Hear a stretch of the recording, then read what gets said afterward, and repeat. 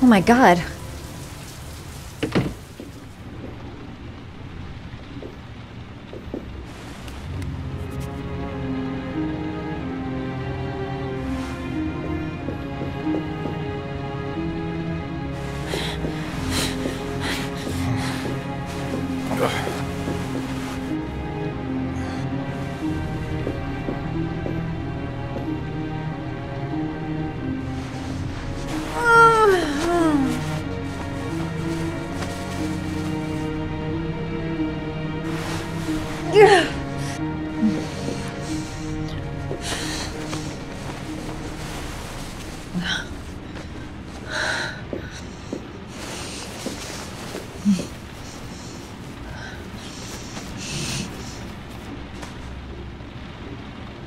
Ethan. Ethan, can you hear me?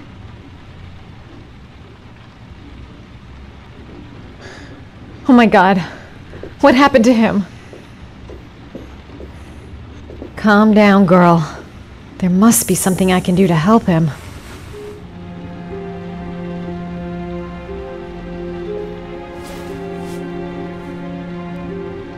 You've got a hell of a fever.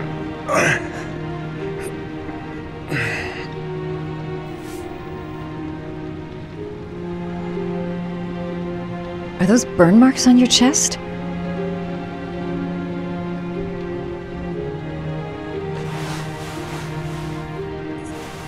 I'm gonna have to get your clothes off to disinfect those wounds.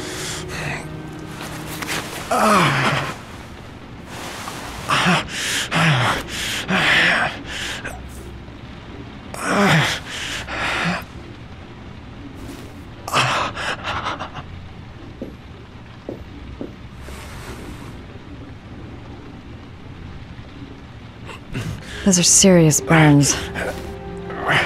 I don't know if I can do anything for you.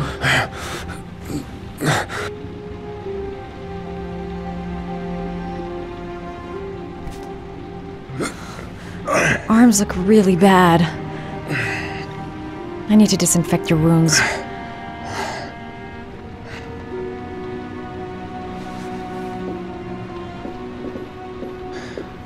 He needs first aid.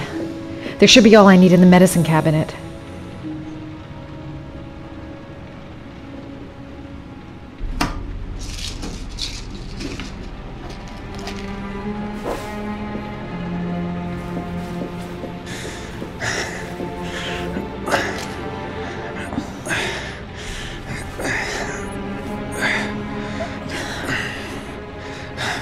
I'm no doctor, but I'll do what I can.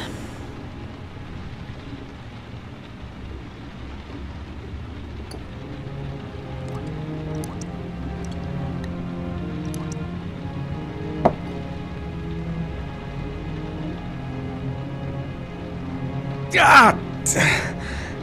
Crap. That's disinfectant. Not terribly good for burns.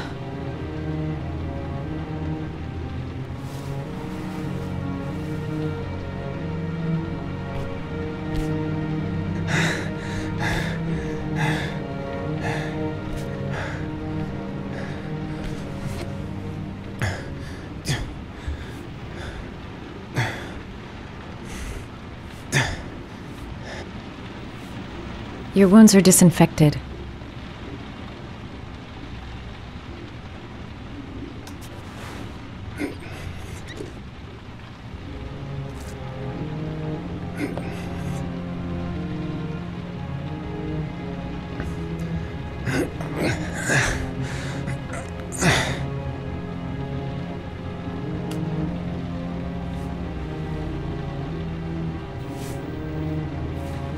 Ah!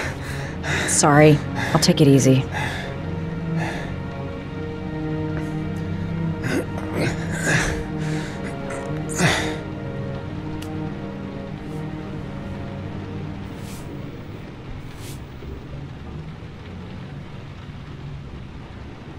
That should ease the pain.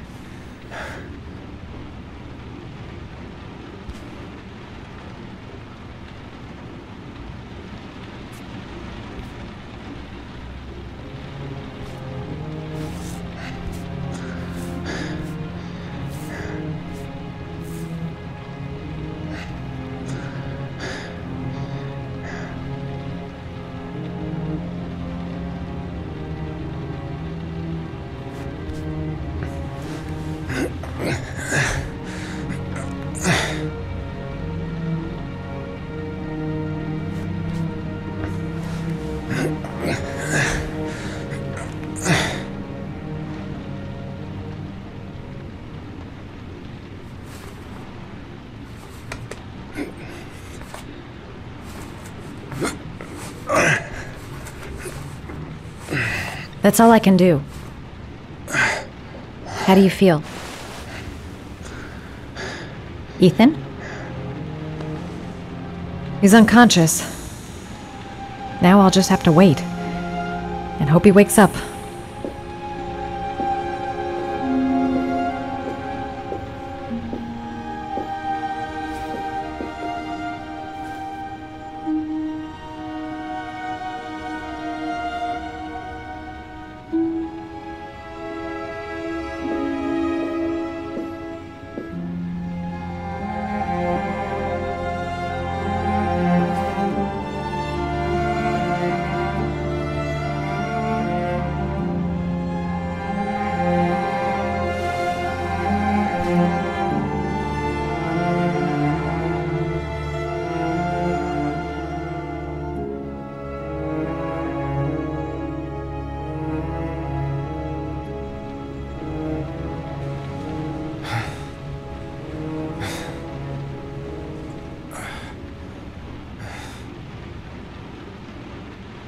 How do you feel?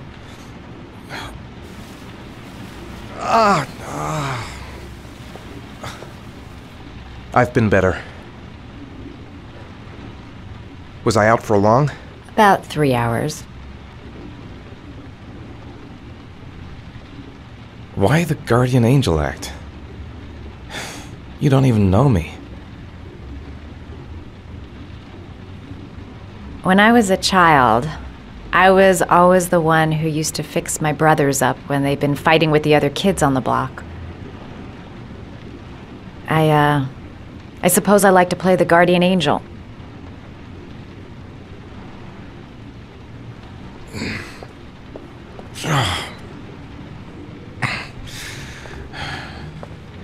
You said you were here because you're an insomniac?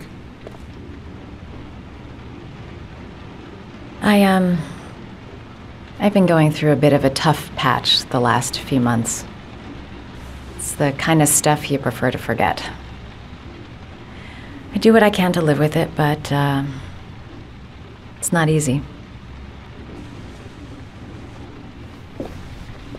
You seem to lead a dangerous life. It's not the one I chose. I'm sorry. I shouldn't be asking you questions. I mean, after all, we hardly know each other. You have no reason to trust me. Listen, I'm truly grateful for your help, but for your own sake, I think it's better if you don't ask any questions. Maybe I could help you. I No one can help me. You've already done a lot, Madison. Right. I'm gonna go. Take care.